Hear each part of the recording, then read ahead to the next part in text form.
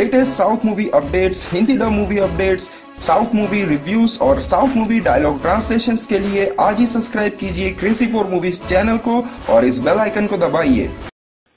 Welcome friends आप सभी का स्वागत है क्रेजी फॉर मूवीज़ में। दोस्तों, जब हम कभी कोई मूवी देखते हैं और हमें वो मूवी बहुत पसंद आती है, तब हमारे मन में एक ख्याल ज़रूर आता है कि यार ये मूवी तो सुपर हिट होगी, बहुत पैसे कमाए होंगे इस मूवी ने।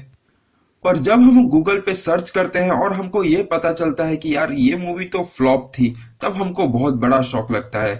तब आप भी एक बार ये ज़रूर सोचते होंगे, यार ये मूवी फ्लॉप कैसे हो सकती है?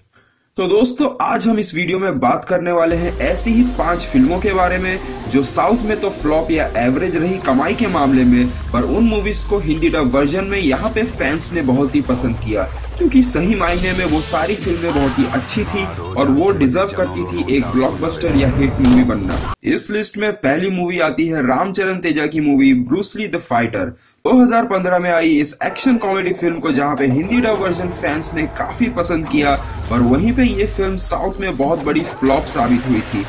विकीपीडिया के हिसाब से इस मूवी का बजट कुछ 37 करोड़ के आसपास का था और इस मूवी ने 40 करोड़ की कमाई की थी। पर अगर आप गूगल पे सर्च करेंगे, तब आपको वहाँ की लोकल वेबसाइट से पता चलेगा कि इस मूवी का बजट लगभग लगभग 50 करोड़ के आसपास का था और ये मूवी 40 करोड़ ही कमा पाई थी। इस फ़िल्म में वैसे तो वो हर एलिमेंट था जो इस मूवी को एक कंप्लीट फैमिली एंटरटेनर मूवी बनाती है, पर शायद साउथ इंडियन फैंस ने इस मूवी के ट्रेलर को देख के इस फ़िल्म से कुछ और ही आशाएँ रखी थी। मेरे हिसाब से तो ये फ़िल्म एक हिट होनी चाहिए थी, पर ऐसा नहीं हुआ। इस लिस्ट में दूसरे नंबर पे आती है 2014 की सूर्या और समांता स्टारर मूवी अनजान इस मूवी के फ्लॉप होने की सबसे बड़ी वजह थी इस मूवी के लिए क्रिटिक्स के बहुत ही खराब रिव्यू और ऑडियंस के बीच में इस मूवी के नेगेटिव ह्यूमर्स पर जो भी हो, हम हिंदी डब फैंस और सूर्या के जो साउथ फैंस है, उनको ये मूवी बहुत ही पसंद आई थी। इस लिस्ट में अगला नाम आता है नितिन की लेटेस्ट फ़िल्म लाइका। इस साल 2017 में रिलीज़ हुई इस फ़िल्म को फ्लॉप नहीं, साउथ में डिजास्टर डिक्लेयर कर दिया गया है। जी हाँ दोस्तों, कुछ 27 करोड़ की बजट में बनी इस मूवी ने अपने पहले ही दिन 5 करोड़ रुपए कमाए थे। वहीं ये फ़िल्म सिर्फ़ 18 करोड़ के लाइफ टाइम कलेक्शन पे जाके रुक गई थी। जहाँ इस फ़िल्म के हिंदी डब राइट्स और डिजिटल राइट्स को कुछ चार करोड़ में बेचे गए थे और इस फ़िल्म के सैटेलाइट राइट्स को छह करोड़ में बेचे गए थे। इसके बावजूद भी ये फ़िल्म अपना बजट कवर नहीं कर पाई थी। पर दोस्तों, ये मेरा पर्सनल ओपिनियन है कि ये मूवी एक अच्छी मूवी थी और इस मूवी के साथ एटलीस्ट इतना बुरा तो नहीं होना चाहिए था। जहाँ साउथ वाले इस फ़िल्म को एक डिजास्टर बोल रहे हैं, वहीं हिंदी डब फैंस को ये फ़िल्म बहुत ही पसंद आ रही है, जिनमें मैं भी शामिल हूँ। इस मूवी के इतने बड़े फ्लॉप होने की एक और वजह थी, वो था इस मूवी का बॉक्स ऑफ़िस क्लैश आपको बता दे दोस्तों कि लाई के साथ दो और फ़िल्में रिलीज़ हुई थी। एक थी नेनू राजू, नेनू मंत्री और जय जानकी नायिका। और इस रेस में राणा दगुबती की फ़िल्म नेनु राजू, नेनु मंत्री ने बाकी दोनों फ़िल्मों को काफ़ी पीछे छोड़ दिया था। अब आने वाली जो दो मूवी है, वो दोनों ही मूवी एक ही हीरो की है और मुझे दिल से इस सुपरस्टार के लिए बहुत ही बुरा लगता है।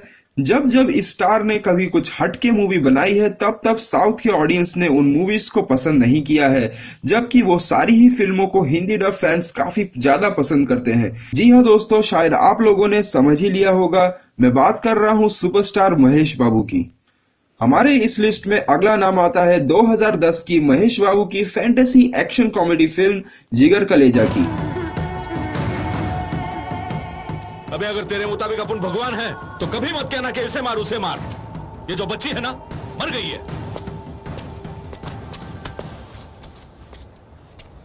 इस बच्ची में जान फूक दो कहते हैं।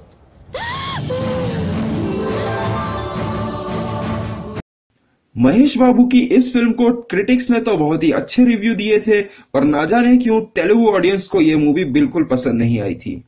बात करें इस मूवी की स्टोरी कॉन्सेप्ट महेश बाबू की एक्टिंग और डायलॉग डिलीवरी की तो इस मूवी में वो हर बात थी जो इस मूवी को एक ब्लॉकबस्टर मूवी बना सकती थी। पर 40 करोड़ की लागत से बनी इस मूवी ने आंध्र प्रदेश में 14 करोड़ और वर्ल्ड वाइड 18 करोड़ ही कमाई कर पाई थी। और ये मूवी आज भी महेश बाबू फैंस और हिंदी डब फैंस के फेवरेट मूवीज़ की लिस्ट में ज़रूर आती है।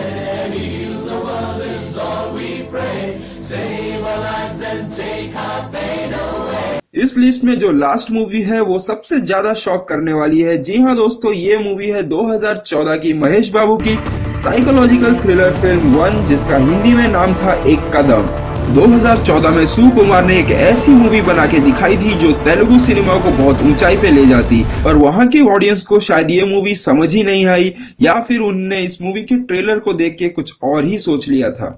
इसलिए शायद 70 करोड़ की लागत से बनी इस फ़िल्म ने, जहाँ अपने पहले ही दिन 29 से 30 करोड़ रुपए का बिज़नेस किया था, पर इस मूवी का lifetime India collection 44 crore rupees पे जाके रुक गया था, और इस मूवी ने वर्ल्ड वाइड कुछ 85 करोड़ रुपीस का बिज़नेस किया था। इस मूवी को आज भी इंडिया की बेस्ट साइकोलॉजिकल थ्रिलर फ़िल्म माना जाता है, और ये फ़िल्म दुनिया की top 20 best psychological thriller films में भी शामिल है। ही साउथ ऑडियंस ने इस फ़िल्म को हिट होने नहीं दिया, पर यह फ़िल्म आज भी हिंदी डब फैंस के बीच में बहुत ही पसंद की जाती है। और मेरे हिसाब से इस मूवी में महेश बाबू ने अपने करियर की बेस्ट एक्टिंग की थी। में दोस्तों, इन मूवीज़ के बॉक्स ऑफ़िस रिपोर्ट को देख के काफ़ी शौक लगता है, क्योंकि ये सारी मूवीज़ हकदार थी एक ब्लॉकबस्टर मूवी कहलाने की, पर ये सारी मूवीज़ फ्लॉप रह गई। आप हमें कमेंट बॉक्स में ज़रूर बताइएगा कि आपको इनमें से कौन सी मूवी सबसे ज़्यादा पसंद है और आपको क्या लगता है कि इनमें से कौन सी मूवी को एक हिट होना चाहिए था। उम्मीद करते हैं दोस्तों, आज का हमारा वीडियो आपको पसंद आया होगा। पसंद आया हो तो इसे लाइक और शेयर ज़रूर करिएगा। मिलते हैं हमारे अगले वीडियो में। तब तक के लिए बाय बाय टेक केयर